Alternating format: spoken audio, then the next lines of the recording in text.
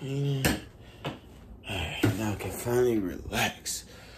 Whew, today has drained me, man. God damn, and I still gotta make this boy food. I should have punched his mama in the stomach when she was pregnant.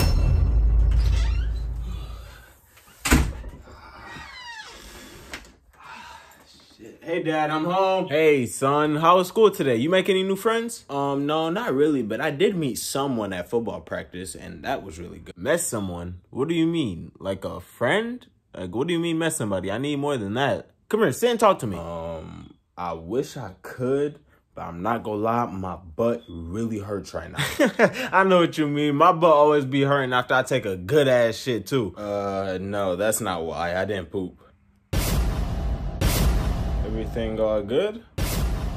Oh, hell no. Don't tell me they got my boy too. Dad, boy. just relax. Everything's still okay. Everything's okay, right? Everything's okay. ah, stop, please, please. Don't worry, my son. Don't get that demon out of you. oh, okay, that's not working. I bet. Let's no, try this. No, no, ah! no.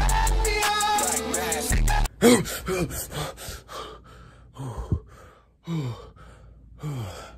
was just dreaming. Okay, I was just dreaming. All right, Dad, I'm about to head out.